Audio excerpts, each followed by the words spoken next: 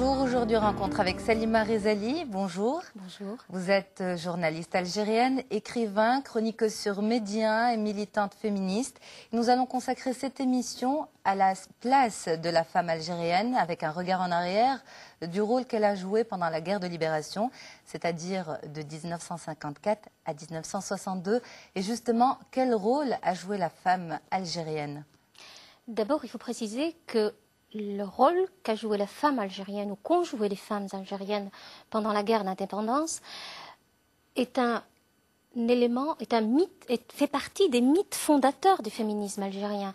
Et que les femmes, comme le reste des acteurs politiques algériens, se dote d'une légitimité en s'appuyant sur la participation à la guerre d'indépendance nationale. C'est très important de garder cela à l'esprit si on veut comprendre euh, les hiatus, les contradictions qui vont euh, se matérialiser plus tard. Elles ont joué un rôle important et un rôle multiple. Ce qui pose problème, c'est comme dans tous les autres secteurs, c'est cette multiplicité, c'est cette importance, c'est cette pluralité. Les secteurs féministes, en général, favorisent la mise au premier plan de la femme combattante en treillis, ou sinon de la militante politique ou l'infirmière. Donc ce sont les images, c'est l'imagerie d'Épinal telle qu'elle est véhiculée par le discours des femmes pour dire nous avons participé à la guerre d'indépendance nationale comme les hommes, c'est-à-dire selon les mêmes modes d'expression que les hommes, et donc nous avons le droit et nous avons légitimité à exister en tant que tels. Ce qui n'est pas une démarche fausse, mais c'est une démarche qui a ses limites. Parce que d'une part, elle pose comme étant unique discours de légitimation et unique discours, euh, unique façon d'exister, c'est la guerre d'indépendance telle qu'elle est mise en scène par le régime. Et toutes les autres formes d'expression de militance, de, façon d'être et de se battre pour son algérianité, y compris pendant la guerre d'indépendance, sont gommées. Première erreur. Cette erreur va être extrêmement lourde de conséquences pour la suite. Parce que si on reprend le rôle des femmes pendant la guerre d'indépendance, mais avant la guerre d'indépendance. Justement, pour ce rôle, alors concrètement, qu'est-ce qu'elles faisaient? Est-ce que c'était, euh, elles allaient sur le terrain? Euh, On a même entendu que euh, justement, on habillait des femmes en française pour déposer des bombes. Donc concrètement, quel rôle elles jouaient? Comment elles agissaient sur le terrain? D'abord, leur combat ne s'est pas limité, ou les femmes n'ont pas émergé sur la scène publique algérienne avec le 1er novembre 54. Le 1er novembre 54, jusqu'à l'indépendance en 62, a donné euh, euh, un sens politique euh, plus précis une orientation, c'est-à-dire l'indépendance. Mais les femmes existaient sous forme d'associations de femmes, que ce soit l'association des femmes musulmanes d'Algérie ou l'association des femmes algériennes. Et c'est très important de garder à l'esprit qu'il y avait les deux organisations et qui œuvrer dans la société sur le plan caritatif, sur le plan culturel et sur le plan politique. Donc il ne faut jamais gommer ce qui était avant la guerre. Pendant la guerre, les femmes sont intervenues.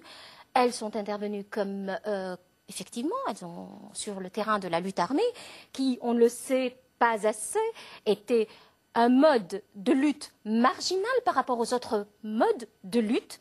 Et c'est très important de le savoir, parce que quand on, fait quand on cultive quand on a le culte de la violence, ça n'est pas gratuit parce qu'on le paye plus tard, les sociétés le payent plus tard, les régimes en profitent. Euh, donc les femmes ont participé sur le terrain de la lutte armée, mais elles ont participé de façon tellement plurielle.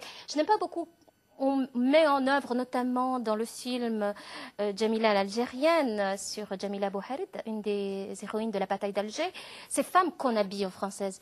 Mais c'est aussi faire violence à la réalité parce qu'il y avait des femmes qui entre guillemets, on disait à l'époque, s'habiller euh, de façon civilisée. Il y avait des femmes minoritaires, certes, mais qui pourtant, c'est quelque chose qui existait. Ce n'est pas une fabrication euh, totale euh, de la part des dirigeants de, de la Révolution à l'époque. Donc, les femmes ont participé de façon plurielle à l'indépendance nationale, à la construction de la conscience nationale, et c'est très important de le rappeler. Après, pour elles, comme pour la société, les promesses n'ont pas été tenues. Et si notre société... Alors justement, euh, en parlant de, promesses, qu'est-ce qui a nourri ce, militantisme? Est-ce que justement c'était des promesses qui étaient faites qui exacerbaient ce sentiment de militantisme en quelque sorte? D'abord, je crois que le, désir d'indépendance, le désir de liberté pour son peuple est un désir commun aux hommes et aux femmes. L'oppression est insupportable à vivre, que l'on soit homme ou femme. Après, c'est pas parce qu'on leur a promis qu'elles seraient libres qu'elles se sont battues pour l'indépendance nationale. C'est parce que c'était une nécessité objective. Et indéniablement, la situation des femmes algériennes s'est nettement améliorée après l'indépendance par rapport à ce qu'elle était sous la colonisation. Je pense que ça, euh, il faut le, dire très clairement. Euh, maintenant, les promesses qui n'ont pas été tenues, pour les femmes comme pour la société. Vous savez, on avait deux mots qui se suivaient pendant la guerre d'indépendance. C'était indépendance et liberté. Ou l'hurriya. L'indépendance, on l'a eu. La liberté, on ne l'a pas eu. La société n'a pas eu la liberté. Le peuple n'a pas eu la liberté. L'espace politique n'a pas eu la liberté. Et là-dedans, les femmes n'ont pas eu leur liberté. Donc la promesse qui n'a pas été tenue à l'égard des femmes, c'est la promesse qui n'a pas été tenue à l'égard de la société. Et si notre société savait à quel point sa condition et la, condition des femmes est semblable à sa condition, combien les souffrances des femmes sont semblables à ses souffrances, je crois que beaucoup de dureté et d'absence de compassion et d'absence de compréhension pour la, situation spécifique vécue par les femmes serait levée. Malheureusement, la, segmentation euh, des luttes, des souffrances fait que souvent euh, on vit les femmes dans nos sociétés comme étant une, une, extériorité. Mais encore une fois, juste pour insister sur ces promesses, concrètement, quelles étaient-elles? Mais la liberté, l'égalité en droit, le droit à l'exercice de la liberté. Qu'est-ce que c'est l'exercice de la liberté? C'est avoir des droits en tant qu'individu, c'est avoir le droit de s'organiser de façon libre, c'est avoir le droit d'aller à l'école, le droit d'étudier, le droit de travailler, de ne plus vivre sous la contrainte permanente et sous la peur permanente. Pour les femmes, comme pour la société, ce sont des catégories, ce sont des, des promesses qui n'ont pas été tenues. Alors, en, réaction au non-changement euh, du statut de la femme, il y a eu euh, la manifestation de 1965 avec la symbolique du voile.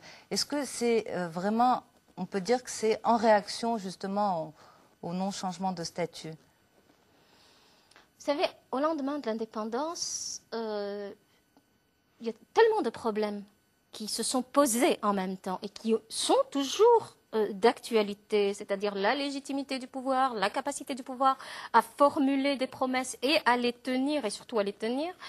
Euh, la façon dont la société va se, la façon dont la société va se sentir représentée par des institutions, dans des institutions, etc.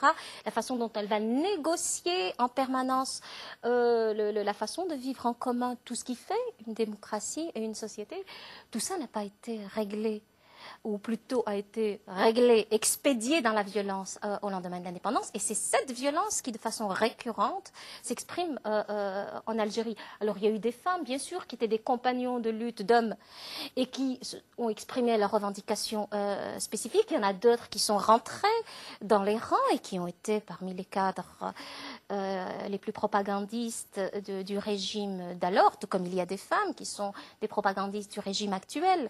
Donc, euh, les femmes ont des revendications spécifiques, ont une souffrance spécifique, notamment celle qui est codifiée euh, dans ce qu'on appelle le code de la famille, euh, mais elles aussi suivent les, mêmes, le même cheminement que les hommes. Et c'est parce qu'on ne le dit pas assez, c'est parce qu'on ne le montre pas assez que l'on ne comprend pas ou qu'on a l'impression de quelque chose de très exotique, de très étranger, que les femmes sont porteuses de revendications d'extériorité, d'occidentalité, je ne sais pas quoi encore.